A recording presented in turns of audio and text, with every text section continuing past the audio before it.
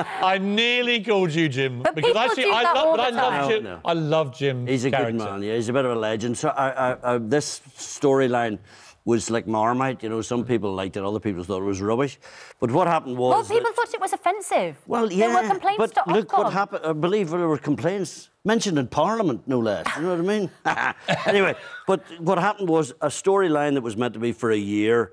I had agreed to play Rebus. In a play. Cast, that's right. This evening at Northampton. and, um, And on tour. And on tour. All big cities, blah, blah, blah. And so they had to shrink it. And I said, why didn't you tell me in January you wanted me to come back for a year? Or you shook your hand and said, right, you're on. But they waited, as they do, and I was busy. So, yes, I've been back doing a couple of months in Corrie. Some people loved it, some people... Oh, I loved it. I just think Jim McDonald's one of the great characters uh, of Corrie. He really is. He's, he's, a, he's become a bit of a legend, and I'm very proud of him. We sort of, well, I created him and the writers and what have you, and I never had a dull moment. So I'd love to go back. And the first time in, in 40 years in the business, Ian, the producer, this has never happened to me, phoned me up. He says, Charlie, how do you feel about the future?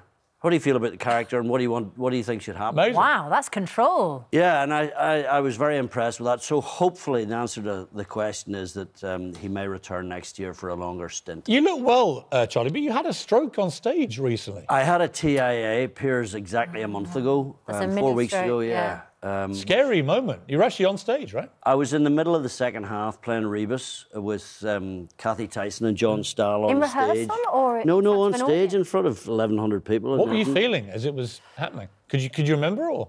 I, I, I remember the first thing I remember was I went deaf, and then everybody went blue, and there was white lights in my head. It was it was a.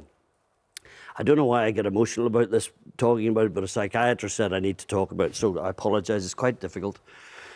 Um, Well, it's obvious why you're emotional about it. well, I didn't wasn't obvious to me. But it's extremely yeah, dangerous. Yeah, and, and, I um, I, and I, I didn't know where I was. Um, I, I didn't. I thought John was saying lines from a different play. Um, I remember moving to where I thought I was meant to be, and then John clearly knew something was wrong, and uh, excuse me, and he took me off. Sorry, I had uh, to off the stage. And frightening though, right? yeah, but I didn't. It wasn't. It wasn't scary. I just knew something was desperately wrong. Anyway, 20 minutes later, there I was having a cup of tea, and it was fine. And I went to the to hospital. I had the heart thing, which was brilliant, all like a Royal Marine heart. Uh, the neck scan was fine, and then the MRI scan showed I'd had a TIA. And um, and I, I- and then I spoke to this doctor, and I said, "Why am I upset about this?" And they said, "Because if you break your leg, you break your leg. But when something goes wrong with the computer, it's it can disturb you." So I've had to readdress mine. Well, I'm when I finish the play, I'm going to have to take some time just to reassess my life.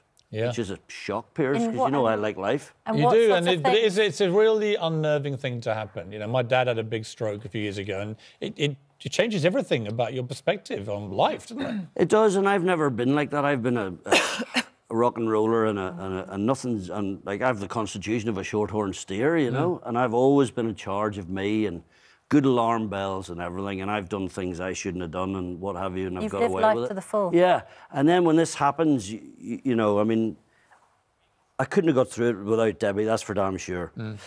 And um, but I will go away now, and I, I do have to reassess how I live my life and all that. Carry on, which sounds a bit, you know, up my own backside, but honestly, it's the truth.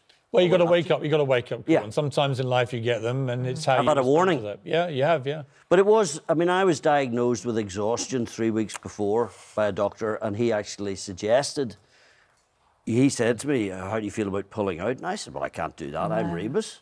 You know, so maybe it wouldn't have happened, but she can't do that in life. You have to carry on. Charlie, um, you do, and the show goes on. Uh, it's a great show. Go and see, Northampton go see tonight, folks. Northampton tonight. Rebus Long Shadows. But take it. I mean, take it easy. I promise, Yeah. Susanna, I will because I have to, because I enjoy life too much.